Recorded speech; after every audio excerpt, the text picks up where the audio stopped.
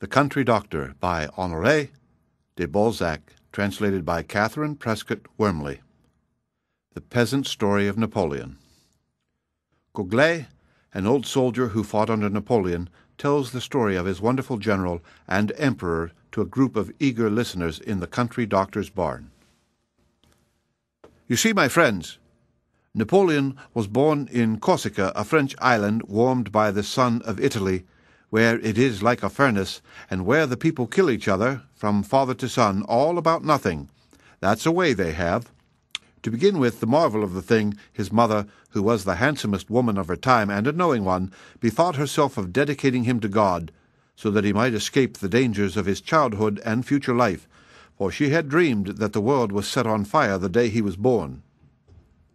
And indeed, it was a prophecy. So she asked God to protect him on condition that Napoleon should restore his holy religion, which was then cast to the ground. Well, that was agreed upon, and we shall see what came of it. Follow me closely, and tell me if what you hear is in the nature of man. Sure and certain it is that none but a man who conceived the idea of making a compact with God could have passed unhurt through the enemy's lines, through cannon balls and discharges of grape shot that swept the rest of us off like flies, and always respected his head. I had proof of that, I, myself, at Eylau. I see him now as he rode up a height, took his field glasses, looked at the battle, and said, All goes well. One of those plumed busybodies who plagued him considerably and followed him everywhere, even to his meals, so they said, fought to play the wag, and took the Emperor's place as he rode away. Ho, ho! In a twinkling, head and plume were off. You must understand that Napoleon had promised to keep the secret of his compact all to himself. That's why all those who followed him, even his nearest friends, fell like nuts. Duroc, Bessières, Lannes, all strong as steel bars, though he could bend them as he pleased. Beside, to prove he was the child of God and made to be the father of soldiers, was he ever known to be lieutenant or captain? No, no. Commander in chief from the start. He didn't look to be more than twenty-four years of age when he was an old general at the taking of Toulon, where he began first to show the others that they knew nothing about maneuvering cannon. After that, down came our slip of a general to command the grand army of Italy, which hadn't had bread, nor munitions, nor shoes, nor coats, a poor army as naked as a worm. My friends, said he, here we are together. Get it into your pates that fifteen days from now you will be conquerors. New clothes, good gaiters, famous shoes, and every man with a greatcoat. But, my children, to get these things you must march to Milan, where they are. And we marched, France crushed as flat as a bedbug, straightened up. We were thirty thousand bare feet against eighty thousand Austrian bullies, all fine men, well set up. I see 'em now. But Napoleon, he was then only Bonaparte. He knew how to put the courage into us. We marched by night, and we marched by day. We slapped their faces at Montenotte. We thrashed them at Rivoli, Lodi, Arcole, Millesimo, and we never let 'em up. A soldier gets the taste of conquest. So Napoleon whirled round those Austrian generals who didn't know where to poke themselves to get out of his way, and he pelted them well, nipped off ten thousand men at a blow sometimes by getting round them with fifteen hundred Frenchmen, and then he gleaned as he pleased. He took their cannon, their supplies, their money, their munitions, in short, all that they had was good to take. He fought them and beat them on the mountains. He drove them into the rivers and seas. He bit 'em in the air. He devoured 'em on the ground, and he lashed 'em everywhere. Hey! The grand army feathered itself well. For d'ye see, the emperor, who was a wit, called up the inhabitants and told them he was there to deliver them. So after that, the natives lodged and cherished us, the women too, and very judicious they were. Now, here's the end of it. In Ventôse, 96, in those times, that was the month of March of today, we lay cuddled in a corner of Savoie with the marmots.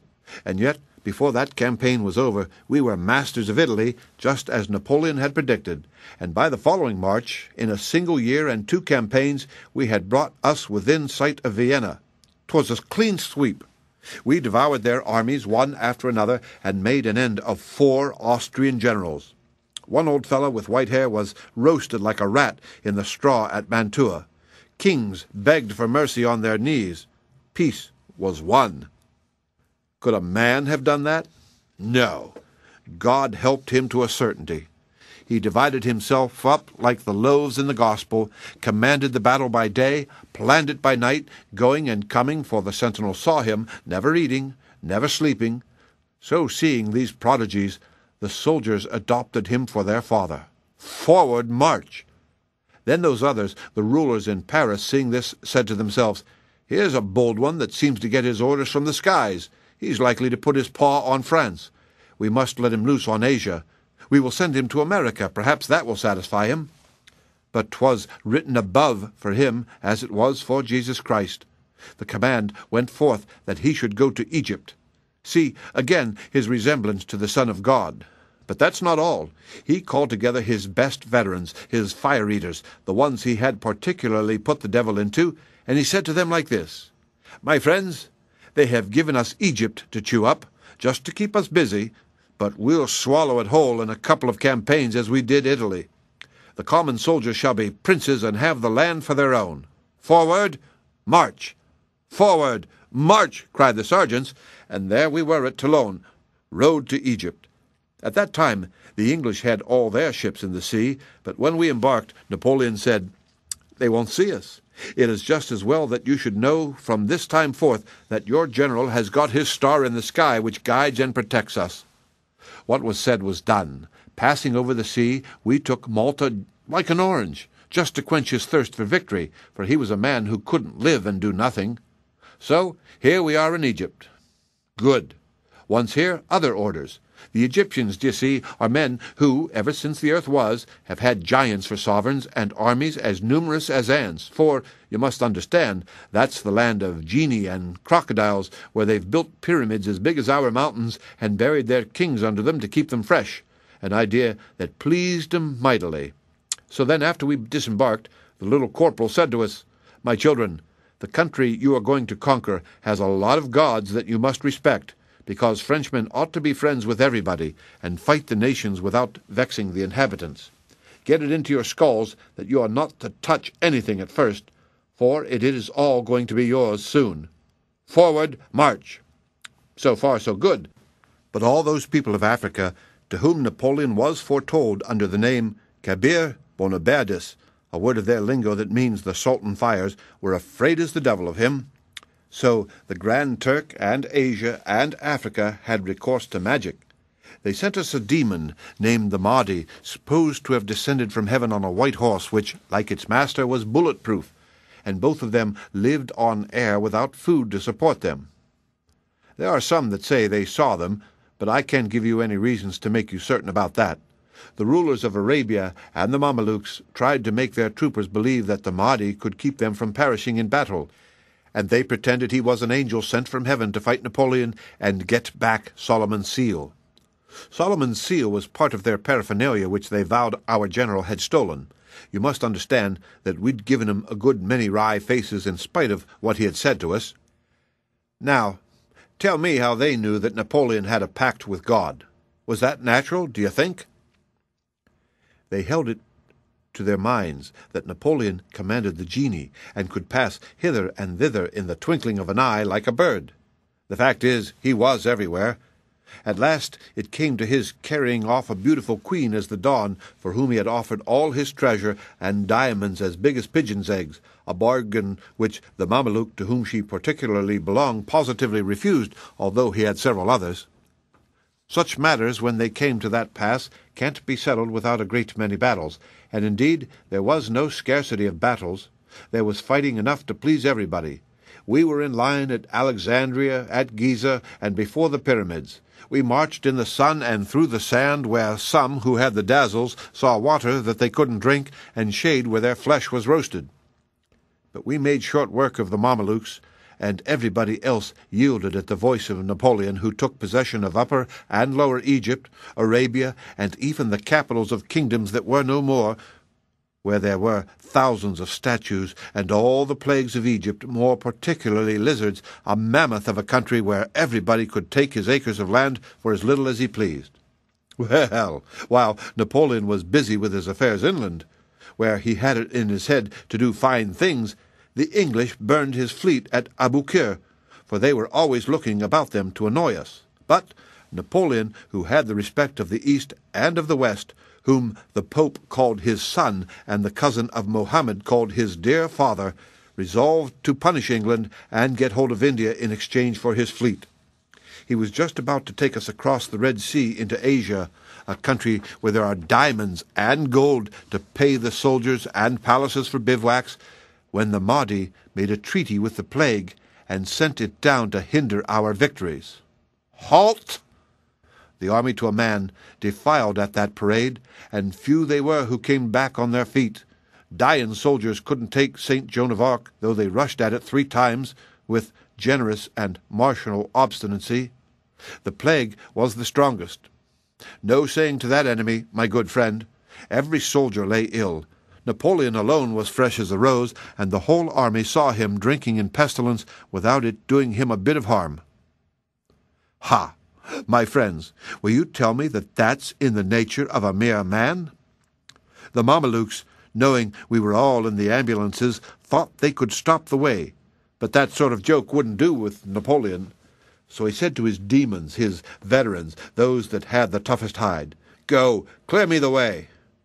Junot, a sabre of the first cut and his particular friend, took a thousand men, no more, and ripped up the army of the Pasha who had the presumption to put himself in the way. After that, we came back to headquarters at Cairo. Now here's another side of the story. Napoleon absent, France was letting herself be ruined by the rulers in Paris who kept back the pay of the soldiers of the other armies and their clothing and their rations, left them to die of hunger, and expected them to lay down the law to the universe without taking any trouble to help them. Idiots! Who amused themselves by chattering instead of putting their own hands in the dough. Well, that's how it happened that our armies were beaten and the frontiers of France were encroached upon. The man was nor there, now observe, I say man, because that's what they called him, but 'twas nonsense, for he had a star and all its belongings. It was we who were only men.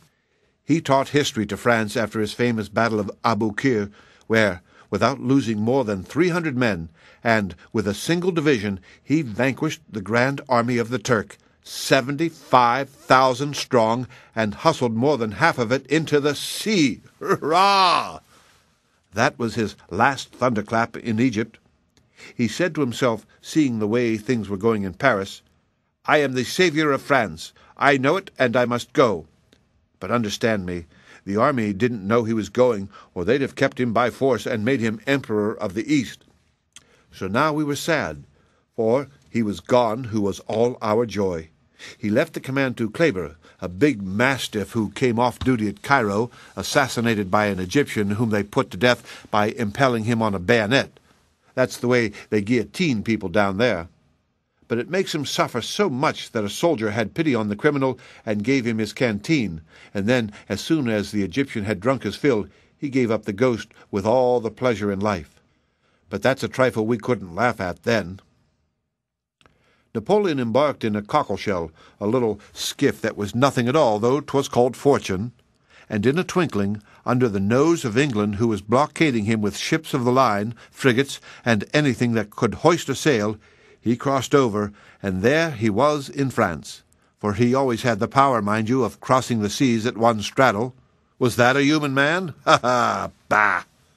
So, one minute he is at Fréjus, the next in Paris. There they all adore him, but he summons the government. What have you done with my children, the soldiers? he says to the lawyers. You're a mob of rascally scribblers. You are making France a mess of pottage and snapping your fingers at what people think of you. It won't do, and I speak the opinion of everybody. So on that, they wanted to battle with him and kill him. Click! He had 'em locked up in barracks, or flying out of windows, or drafted among his followers where they were as mute as fishes and as pliable as a quid of tobacco. After that stroke, consul, and then, as it was not for him to doubt the Supreme Being, he fulfilled his promise to the good God, who, you see, had kept his word to him. He gave him back his churches and re-established his religion. The bells rang for God and for him, and lo, everybody was pleased Primo, the priests whom he saved from being harassed, Secundo, the bourgeois who thought only of their trade and no longer had to fear the rapiemus of the law, which had got to be unjust, Tertio, the nobles, for he forbade they should be killed, as unfortunately the people had got the habit of doing. But he still had the enemy to wipe out, and he wasn't the man to go to sleep at a mess table because, d'ye see, his eye looked over the whole earth as if it were no bigger than a man's head. So then he appeared in Italy, like as though he had stuck his head through the window. One glance was enough. The Austrians were swallowed up at Marengo like so many gudgeons by a whale. Hoof! The French eagles sang their paeans so loud that all the world heard them, and it sufficed. We won't play that game any more, said the German. Enough, enough, said all the rest. To sum up, Europe backed down, England knocked under. General peace, and the kings and the peoples made believe kiss each other. That's the time when the emperor invented the Legion of Honor, and a fine thing, too. In France, this is what he said at Boulogne before the whole army every man is brave. So the citizen who does a fine action shall be sister to the soldier, and the soldier shall be his brother, and the two shall be one under the flag of honor. We who were down in Egypt now came home. All was changed. He left us general, and hey, in a twinkling we found him emperor. France gave herself to him like a fine girl to a lancer. When it was done, to the satisfaction of all, as you might say, a sacred ceremony took place, the like of which was never seen under the canopy of the skies. The Pope and the cardinals, in their red and gold vestments, crossed the Alps expressly to crown him before the army and the people who clapped their hands. There is one thing that I should do very wrong not to tell you. In Egypt, in the desert close to Syria, the red man came to him on the Mount of Moses and said, All is well. Then, at Marengo, the night before the victory, the same red man appeared before him for the second time, standing erect and saying, Thou shalt see the world at thy feet. Thou shalt be Emperor of France, King of Italy, Master of Holland, Sovereign of Spain, Portugal, and the Illyrian provinces, Protector of Germany, Saviour of Poland, First Eagle of the Legion of Honor, all. This Red Man, you understand, was his genius, his spirit, a sort of satellite who served him, as some say, to communicate with his star. I never really believed that, but the Red Man himself is a true fact. Napoleon spoke of him, and said he came to him in troubled moments and lived in the palace of the Tuileries under the roof. So on the day of the coronation, Napoleon saw him for the third time, and they were in consultation over many things. After that, Napoleon went to Milan to be crowned King of Italy, and there the grand triumph of the soldier began. Every man who could write was made an officer. Down came pensions. It rained duchies. Treasures poured in for the staff which didn't cost France a penny, and the Legion of Honor provided incomes for the private soldiers, of which I receive mine to this day. So here were the armies maintained as if never before on this earth. But beside that, the emperor, knowing that he was to be the emperor of the whole world, bethought him of the bourgeois, and to please them, he built fairy monuments after their own ideas in places where you'd never think to find any. For instance, suppose you were coming back from Spain and going to Berlin. Well, you'd find triumphal arches along the way with common soldiers sculptured on the stone every bit the same as generals. In two or three years, and without imposing taxes on any of you, Napoleon filled his vaults with gold, built palaces, made bridges, roads, scholars, fates, laws, vessels, harbors, and spent millions upon millions, such enormous sums that he could, so they tell me, have paved France from end to end with five franc pieces if he had a mind to. Now, when he sat at ease on his throne and was master of all, so that Europe waited his permission to do his bidding, he remembered his four brothers and his three sisters, and he said to us, as it might be in conversation in an order of the day, My children, is it right that the blood relations of your emperor should be begging their bread? No, I wish to see them in splendor like myself. It becomes therefore absolutely necessary to conquer a kingdom for each of them, to the end that Frenchmen may be masters over all lands, that the soldiers of the guard shall make the whole earth tremble, that France may spit where she likes, and that all the nations shall say to her, as it is written on my copper coins, God protects you. Agreed, cried the army. We'll go fish for thy kingdoms with our bayonets. Ha ha! There was no backing down, don't you see? If he had taken it into his head to conquer the moon, we should have made ready, packed knapsacks, and clambered up. Happily, he didn't think of it. The kings of the countries who liked their comfortable thrones were naturally loath to budge, and had to have their ears pulled, so then, forward march! We did march. We got there, and the earth once more trembled to its center. Hey, the men and the shoes he used up in those days! The enemy dealt us such blows that none but the Grand Army could have borne the fatigue of it. But you are not ignorant that a Frenchman is born a philosopher and knows that a little sooner or a little later he has got to die. So we were ready to die without a word, for we like to see the Emperor doing that on the geographies. Here the narrator nimbly described a circle with his foot on the floor of the barn. And Napoleon said, There, that's to be a kingdom. And a kingdom it was. Ha! The good times! The colonels were generals, the generals marshals, and the marshals kings. There's one of them still on his throne to prove it to Europe. But he's a Gascon and a traitor to France for keeping that crown, and he doesn't blush for shame as he ought to do, because crowns, don't you see, are made of gold. I, who am speaking to you, I have seen in Paris eleven kings and a mob of princes surrounding Napoleon like the rays of the sun. You understand, of course, that every soldier had the chance to mount a throne, provided always he had the merit, so a corporal of the guard was a sight to be looked at as he walked along, for each man had his share in the victory, and 'twas plainly set forth in the bulletin. What victories they were! Austerlitz, where the army maneuvered as if on parade. Eylau, where we drowned the Russians in a lake as though Napoleon had blown them into it with the breath of his mouth. Wagram, where the army fought for three days without grumbling. We won as many battles as there are saints in the calendar. It was proved then beyond a doubt that Napoleon had the sword of God in his scabbard. The soldiers were his friends. He made them his children. He looked after us. He saw that we had shoes and shirts and greatcoats and bread and cartridges.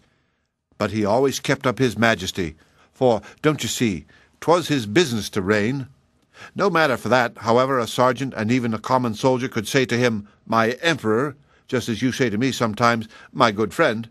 He gave us an answer if we appealed to him. He slept in the snow like the rest of us, and indeed he had almost the air of a human man. I, who speak to you, I have seen him with his feet among the grape shot, and no more uneasy than you are now, standing steady, looking through his field glass, and minding his business. 'Twas that kept the rest of us quiet.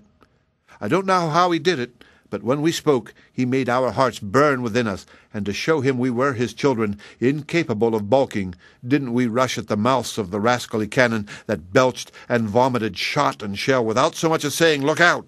Why, the dying must needs raise their heads to salute him and cry, Long live the Emperor!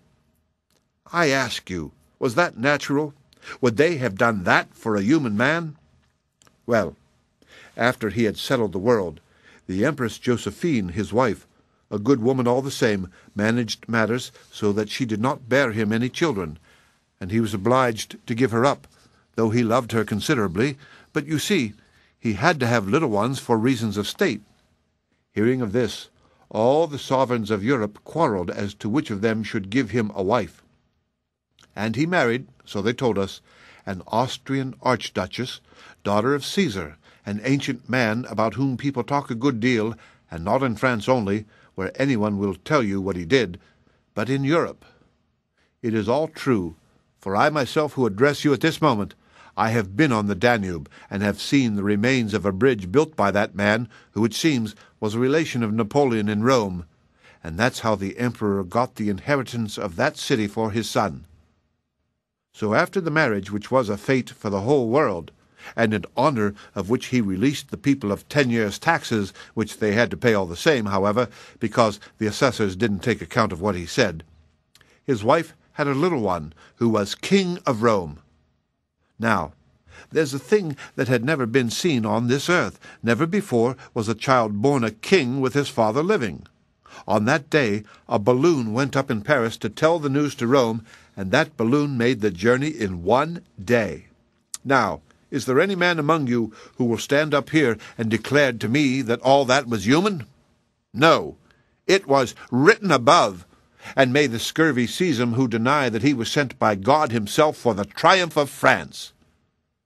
Well, here's the Emperor of Russia that used to be his friend. He gets angry because Napoleon didn't marry a Russian. So he joins with the English, our enemies, to whom our emperor always wanted to say a couple of words in their burrows, only he was prevented. Napoleon gets angry too, and then had to be put to such doings, so he says to us, Soldiers, you have been masters of every capital in Europe except Moscow, which is now the ally of England. To conquer England and India, which belongs to the English, it becomes our peremptory duty to go to Moscow. Then he assembled the greatest army that ever trailed its gaiters over the globe, and so marvelously in hand it was that he reviewed a million of men in one day. Hurrah! cried the Russians.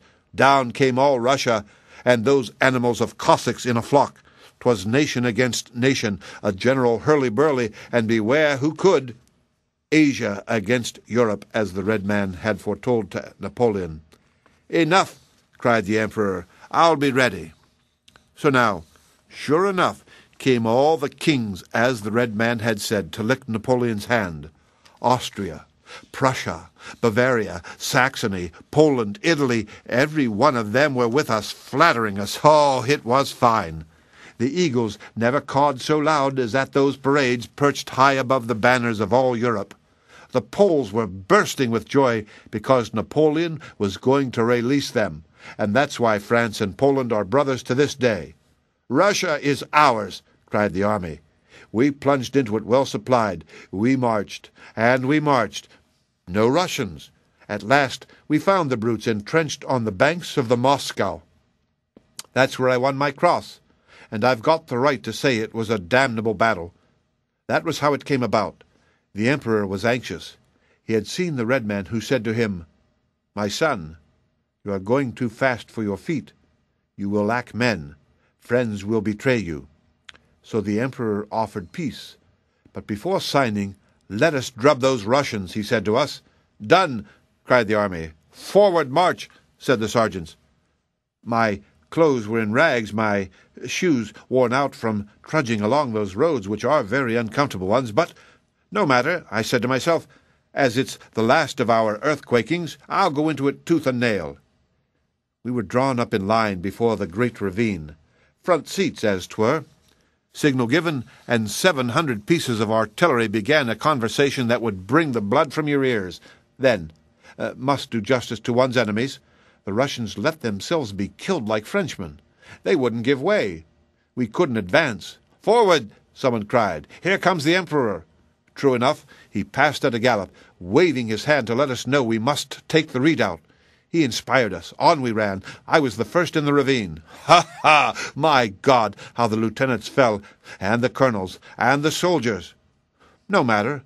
All the more shoes for those that had none, and epaulets for the clever ones who knew how to read. Victory! cried the whole line. Victory! And would you believe it? A thing never seen before.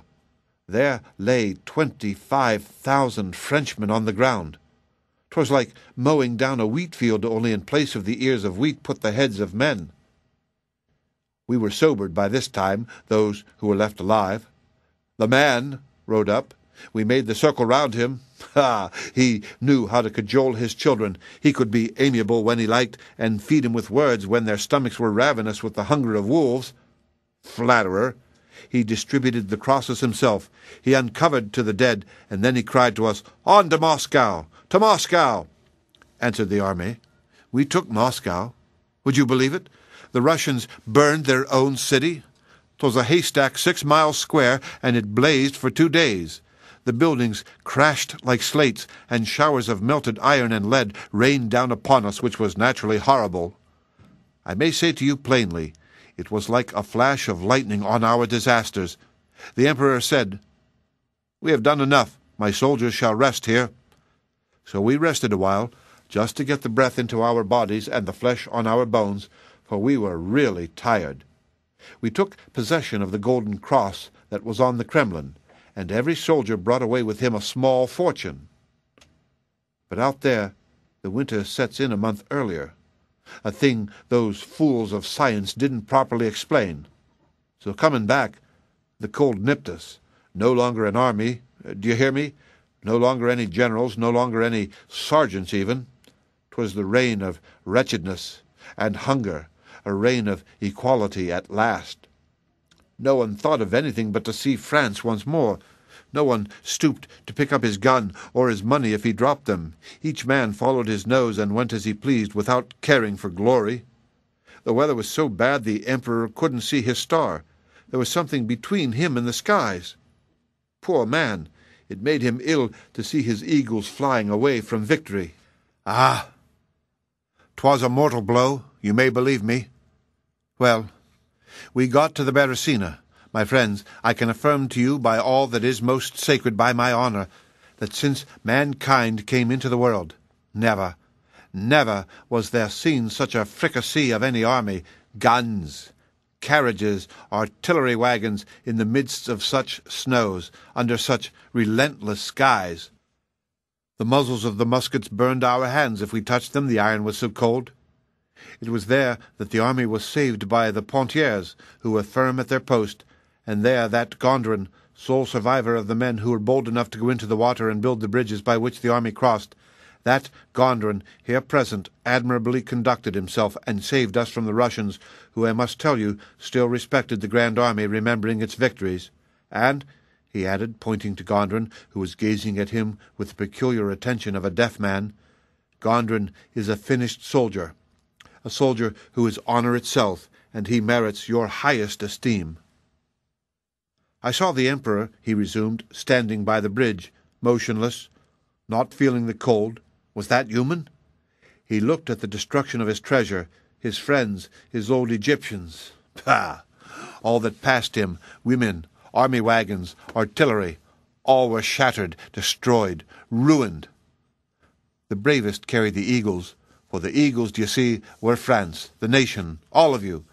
They were the civil and the military honour that must be kept pure. Could their heads be lowered because of the cold? It was only near the Emperor that we warmed ourselves, because when he was in danger we ran, frozen as we were, we who wouldn't have stretched a hand to save a friend. They told us he wept at night over his poor family of soldiers. Ah, none but he and Frenchmen could have got themselves out of that business. We did get out, but with losses, great losses, as I tell you. The Allies captured our provisions. Men began to betray him, as the Red Man predicted. Those chatterers in Paris, who had held their tongues after the Imperial Guard was formed, now thought he was dead. So they hoodwinked the prefect of police and hatched a conspiracy to overthrow the Empire. He heard of it. It worried him. He left us saying, Adieu, my children. Guard the outposts. I shall return to you. Pah! Without him nothing went right. The generals lost their heads, the marshals talked nonsense and committed follies. But that was not surprising, for Napoleon, who was kind, had fed him on gold. They had got as fat as lard and wouldn't stir. Some stayed in camp when they ought to have been warming the backs of the enemy who was between us and France. But the Emperor came back, and he brought recruits, famous recruits. He changed their backbone and made 'em dogs of war, fit to set their teeth into anything, and he brought a guard of honour, a fine body indeed, all bourgeois who melted away like butter on a gridiron.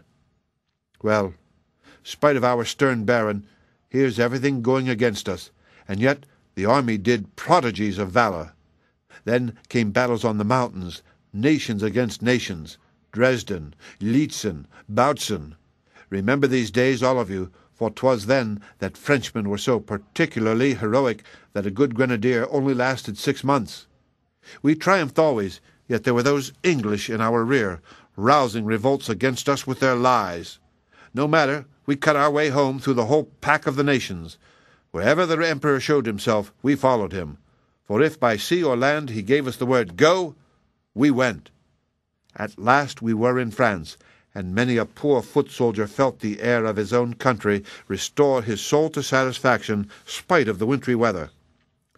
I can say for myself that it refreshed my life.